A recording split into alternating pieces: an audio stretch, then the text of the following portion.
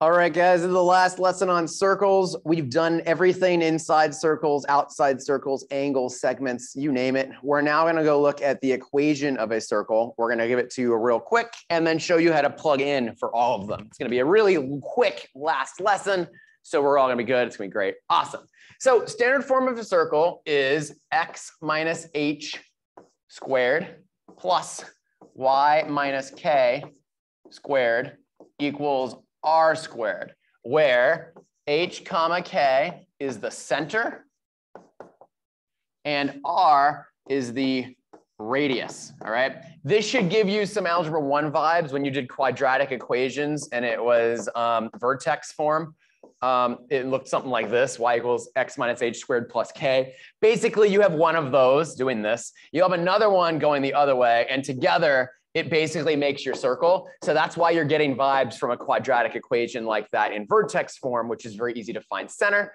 This equation for circles is supposed to be very easy to find center like that as well. You just got to get h comma k. Uh, it does change the signs, right? These are both positive, but in the equation here and here, they're negative.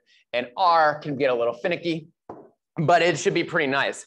In Classkick, you're gonna have to do this with spaces. We get a space here, a space here, a space here, a space here, a space here, a space here, a space here, a space here. So actual correct grammatic, grammatic uh, spacing for typing equations because I just didn't have time to put all of the, uh, to put everything in there. But you're gonna plug your numbers in and it's gonna be pretty straightforward. It's really just gonna be that. So we've got five examples to just brush right through. The first ones we're going to do are one, three, and five on this page, page 29. And then we'll do seven and eight, I think. That's it.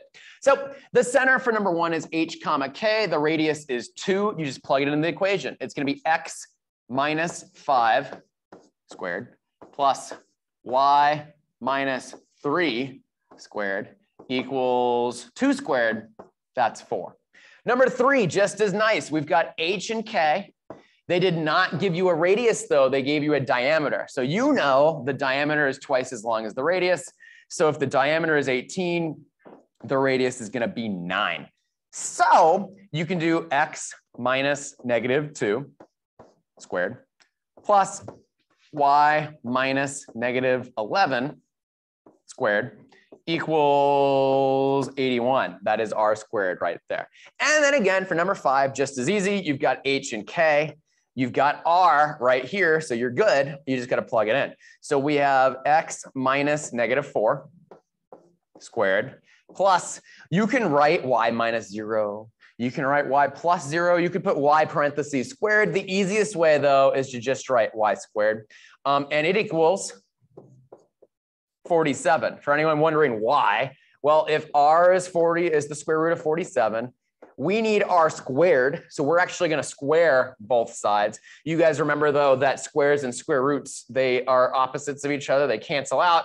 So that's going to be 47 right there. And that's it. So those are those. Uh, we got two more. We got an equation given a graph and then an equation, the last one, which I'm going to breeze through real quick. Sorry. Uh, but we I pushed. I got three minutes till class starts. I got to run. So um, the center for this circle is right here. You can just count with your graph. This is from the origin. It is three negative two is the point right there. So I know my equation is going to be x minus three squared plus y plus two squared. It's going to equal something. To find the radius, make your life easy. You can count from left to right.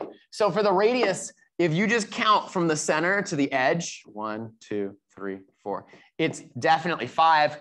So if your radius is five, which you can count very quickly, five squared would be 25. And that's that equation. We got one more, and then I gotta let my fifth period in.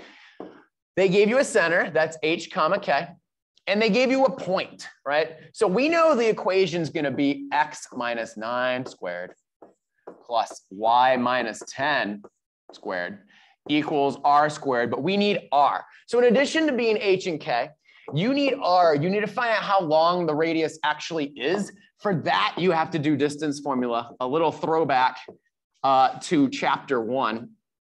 Sorry, that's x2 and y2. And you just plug it in to your distance formula. It's going to be x2 minus x1 squared plus y2 minus y1 squared, and you're just plugging in your numbers. So this is going to be the square root of, in parentheses, 7 minus 9 squared plus 4 minus 10 squared, right? This is negative 2 squared plus negative 6 squared. That is the square root of 4 plus 36. That is the square root of 40. That's what R is. That's D, it's R, it's the same thing, right? And by the same trick, you don't care. It's six point something. Who cares? The square root of 40 is definitely the answer uh, for R. We're going to square it though. So we have R equals the square root of 40. We're going to square both sides. This is all going to, it's just going to be equals 40. And that would be your answer. So you guys are working on page um, 34 and 35, they're the immediate next two pages. Don't get tripped up by that. Uh, let me know if you have questions, comments, concerns. Tomorrow we're going to review. And then on Thursday, we're taking the test. Happy almost Easter, you guys. And if you don't celebrate Easter, happy Easter break, though. We're almost there. All right. Have a good one, guys. Bye.